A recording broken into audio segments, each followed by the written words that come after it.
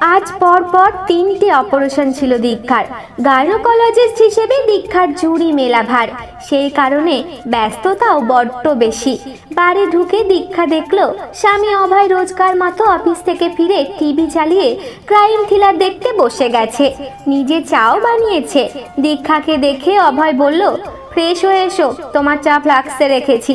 ব্যাগটা সোফার ওপর রেখে দীক্ষা বলল কি এত ক্রাইম থ্রিলার দেখো রোজ? ভালো লাগে না প্রতিদিন এসব খুন জখম দেখতে। অভয় বিজ্ঞের মতো হেসে বলল, আমরা কিন্তু প্রত্যেকেই জীবনে কখনো কোনো ক্রাইম অবশ্যই করেছি। ক্রাইম মানে কিন্তু সবসময় খুন নয়।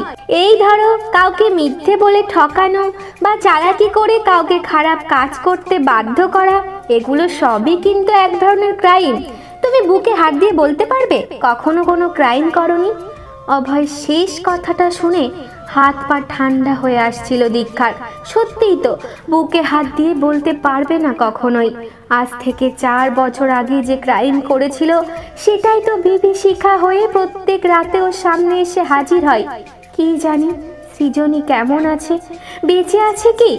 গলার কাজটা কেমন যেন শুকিয়ে আসছিল দীক্ষার। মাথাটাও কেমন যেন ঘুরছে। টাল সামলাতে না পেরে সোফায় ধপ করে বসে পড়ল দীক্ষা। আরে, কি হলো? দীক্ষার অবস্থা দেখে টিভি অফ করে ছুটে এলো অভয়। ঠান্ডা জলের বোতল থেকে জল ছিটিয়ে দীক্ষার চোখে মুখে ঘাড়ে জল দিল অভয়। এখন কেমন লাগছে, মাম? দীক্ষাকে আদর করে মাম বলে ডাকে অভয়। সরি মাম, আমি একদম বুঝতে পারিনি। খুব ভুল হয়ে গেছে, সোনা। প্লিজ ক্ষমা করে দাও। খানিকটা ঠিক হয়ে অভয়ের হাত দুটো ধরে দীক্ষা বলল, ভুল তো আমি করেছি। অন্যায় করেছি আমি। অভয় দীক্ষার মাথায় হাত বুলিয়ে বলল, তুমি তো সৃজনীকে বাঁচাতে চেয়েছিলে। দীক্ষা বলল, ও যদি না বেঁচে থাকে তখন? যদি আমার জন্য ওর পুরো জীবন নষ্ট হয়ে যায় তখন? গত চার বছর ধরে একটা রাতও আমি ঘুমের ওষুধ ছাড়া ঘুমাতে পারি না।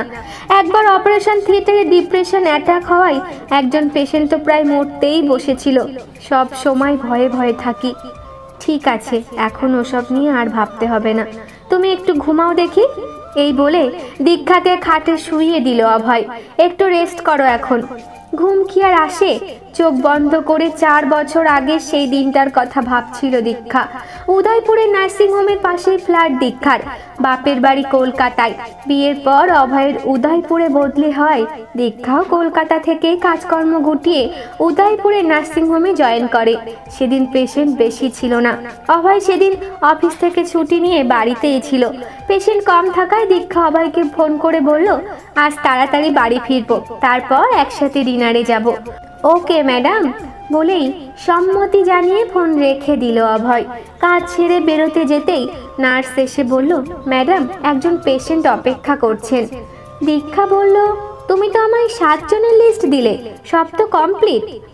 নার্স বলল, ম্যাডাম, একজন ট্যুরিস্ট এসেছেন।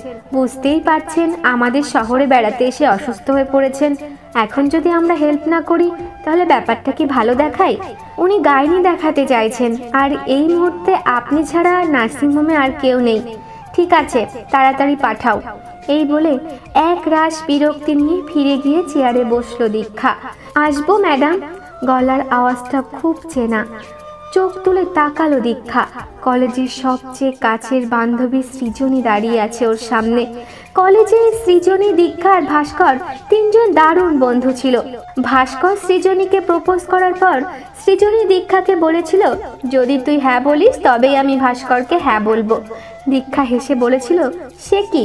আমি যদি না বলি, তাহলে তুই প্রেম করবি না বুঝি?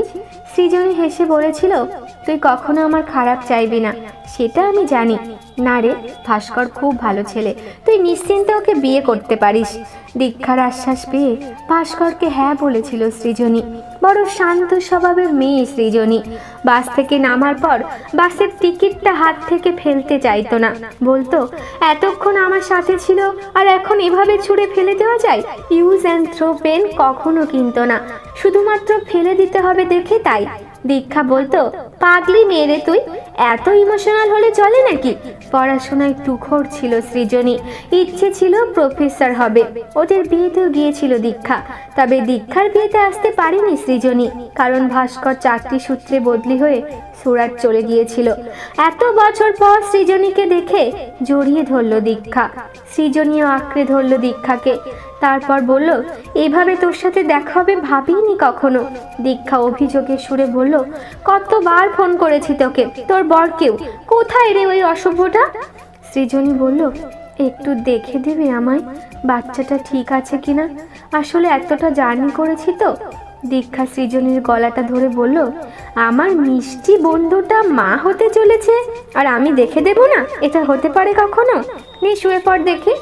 সৃজনী শুয়ে বলল, এমনিতেই পাঁচ মাস হয়ে গেছে। তার মধ্যে পেটটা কেমন চাপ ধরে আছে তাই ভয় করছে। একটা আলট্রাসোনোগ্রাফি করতে হবে, নইলে বোঝা যাবে না। এই বলে নার্সকে ডাকতে যেতেই সৃজনী দীক্ষার হাতটা ধরে বলল, তুই একা যা পারিস কর, কাউকে ডাকিস না প্লিজ। দীক্ষা বলল, যাকে ডাকছি সে খুবই বিশ্বস্ত, ভালো মেয়ে। প্লিজ দীক্ষা, ডাকিস না। সৃজনের কথাই কেমন যেন সন্দেহ হলো দীক্ষার। সৃজনের কুর্তিটা তুলতেই বেরিয়ে এলো সৃজনীর অস্বস্তির কারণগুলো। কোমর, পেট উড়ুর চারপাশে কাল শীটে পড়ে আছে। কোথাও আবার ক্ষত খুবই কাঁচা। এখনও শুকায়নি। দীক্ষার চোখ কপালে উঠল। কে করেছে এগুলো? কে মারলো এভাবে? আটকে উঠল দীক্ষা। চুপচাপ পেটে শুয়ে চোখের জল ফেলছিল সৃজনী। ভাস্কর করেছে? অস্ফুটে বলে উঠল দীক্ষা। ঠিক মেলাতে পারছিল না ব্যাপারটাকে। কলেজে সর্বক্ষণ মার্কস লেলিনের বুলি আওড়ানো সুন্দর ঝকঝকে ছেলেটা এতটা নৃশংস। দীক্ষার কানে ফিসফিসিয়ে সৃজনী বলল, প্রথম বাচ্চাটা ছেলে ছিল। তিন মাস পর মিসক্যারেজ হয়ে যায়। তারপর থেকে অত্যাচার শুরু। ওর ছেলে চাই। আচ্ছা এটা কি আমার হাতে বল? কিছু বলতে গেলেই মারতে থাকে। আমার জন্য নাকি বাচ্চাটা নষ্ট হয়ে গেছে। সর্বক্ষণ দোষে আমায়। এও বলেছে, মেয়ে হলে আমাদের দুজনকেই গলা টিপে মেরে ফেলবে। তুই ভাস্করের কথাই বলছিস তো? অস্ফুটে বলল দীক্ষা। সৃজনী ফিকে হেসে বলল হ্যাঁ রে, তোর চেনা ভাস্করের সাথে মিলছে না, তাই না? আজকাল আমিও চিনতে পারি না ওকে, জানিস? কিন্তু ওই যে ছেড়েও দিতে পারি না, ফেলে দিতে পারি না। সৃজনীর কথা শুনে দীক্ষার ওই বাসের টিকিট আর ইউজ অ্যান্ড থ্রো পেনের কথা মনে পড়ে গেল। একদিন সৃজনীর হাত থেকে বাসের টিকিট কেড়ে নিয়ে রাস্তায় ছুঁড়ে ফেলে দিয়ে দীক্ষা বলেছিল, এবার একটু প্র্যাকটিক্যাল হ, বুঝলি? জল ভরা চোখে মেশিনের দিকে তাকিয়েছিল দীক্ষা। সৃজনীর শরীরের ভেতর ছোট্ট প্রাণটা অক্ষত আছে দেখে ঠোঁটের কোনায় হাসি এলো দীক্ষার। সৃজনীকে বলল তোর বেবি একদম ঠিক আছে। যাক বাবা। নিশ্চিন্ত হলো সৃজনী। আমি এই শরীরে উদয়পুরে আসতে চাইনি, জানিস? ভাস্করের কোন বন্ধুর বিয়ে আছে, তাই আমায় জোর করে নিয়ে এলো। গাড়ি থেকে নেমে বললাম, শরীরটা ভালো লাগছে না। বলল, যাও, সামনেই নার্সিংহোম আছে দেখিয়ে এসো। নিজে সাথেও এলো না। দীক্ষা বলল, সাবধানে থাকিস তুই। এই সময় এত ইনজিওর্ড হলে খুব বিপদ হবে তোর। হঠাৎই দীক্ষার হাত দুটো ধরে সৃজনী বলল তুই তো ডাক্তার। তুই তো বলতে পারবি আমার পেটের ভেতর ছেলে আছে না মেয়ে আছে। বলবি? দীক্ষা বলল, এটা পুরোপুরি বেআইনি। আমরা কখনোই এটা বলতে পারি না। সৃজনী চাপা গলায় বলল, জানতে পারলে খুব ভালো হতো। যদি ছেলে থাকে, তাহলে ভাস্করের কাছেই ফিরে যেতাম। আর যদি মেয়ে থাকে, তবে নিজের মতো করে বাঁচতাম। মেয়েকে ওর বলি হতে দিতাম না। যত কষ্টই হোক, নিজে কিছু একটা করে ঠিক চালিয়ে নিতাম। তুই আমাকে বল, আমি কাউকে বলব না। মেশিনের দিকে এক দৃষ্টে তাকিয়েছিল দীক্ষা। হঠাৎই কি যেন হয়ে গেল ওর। হঠাৎ করে বলে উঠল, কি যে বলি তোকে? দীক্ষার কথাটা শুনে সৃজনী আটকে উঠে বলল, তাহলে মেয়ে, তাই তো? চুপ করে রইল দীক্ষা। তাহলে তো আমায় পালাতেই হবে। ও আমাদের কাউকে বাঁচতে দেবে না। এই বলে সোজা হয়ে দাঁড়িয়ে পড়ল। কেমন যেন অন্যরকম দেখতে লাগছিল ওকে। আগের মতো ভীত স্বতন্ত্র একেবারেই নয়। দীক্ষা বলল, আমি আছি তো। না রে, এটা আমার একার লড়াই। একজন মায়ের লড়াই, নিজের সন্তানকে বাঁচানোর লড়াই। এই বলে বেরিয়ে গেল সৃজনী। দীক্ষা ফোন ধরছে না দেখে চেম্বারে এলো অভয়। কীরকম হতভম্বের মতো বসেছিল দীক্ষা। অভয়কে বলল, আমি অন্যায় করেছি। আমার শাস্তি প্রাপ্য। কিন্তু কি বলেছ তুমি? মুখ দিয়ে বলেছ কি, সৃজনীর সন্তান ছেলে না মেয়ে? নাকি কাগজে কলমে লিখে দিয়েছ কোনটা? দীক্ষা বলল, আমি মুখ দিয়ে কিছুই বলিনি। কিন্তু ও আমার কথা শুনে ভেবেছে ওর গর্ভে মেয়ে আছে। কিন্তু এটা সম্পূর্ণ ভুল। ওর গর্ভে ছেলে ছিল, মেয়ে নয়। কিন্তু আমি চাইছিলাম সৃজনী ওই শয়তানটাকে ছেড়ে বেরিয়ে আসুক। তাই ইচ্ছে করে এই ভনিটা করি আমি। কলেজেও দেখেছি। ও কোনো জিনিস চট করে ছেড়ে বেরোতে পারে না। এই নিয়ে হাসাহাসিও করেছি অনেক। কিন্তু ছেলের জন্ম দিলেও যে ও ভালো থাকতো, এমনটা নয়। ওকে আজ না হোক কাল মরতেই হতো। ওর গায়ের দগদগে ঘাগুলো একমাত্র আমি দেখেছিলাম। আমার কথায় বিশ্বাস করেও ভাস্করকে হ্যাঁ বলেছিল। আমার কি কোনো দায় নেই? পুরনো কথা ভাবতে ভাবতে কখন যে দীক্ষার চোখ লেগে এসেছিল জানেই না। ঘুম ভাঙল পরের দিন সকালে। অভয় বলল, ওষুধ খেয়ে কি যে ঘুমালে তুমি কাল? বাপ রে, আজ তো পনেরোই আগস্ট। তোমাদের নার্সিংহোমে কী সব অনুষ্ঠান হবে বলছিলে? দীক্ষা বলল হ্যাঁ ছোট করে হবে কিছু একটা।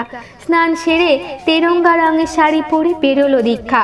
নার্সিংহোমে পৌঁছাতেই দেখল, গেটের কাছে পাঞ্জাবি পরা একটি বাচ্চা ছেলে পতাকা নিয়ে খেলছে।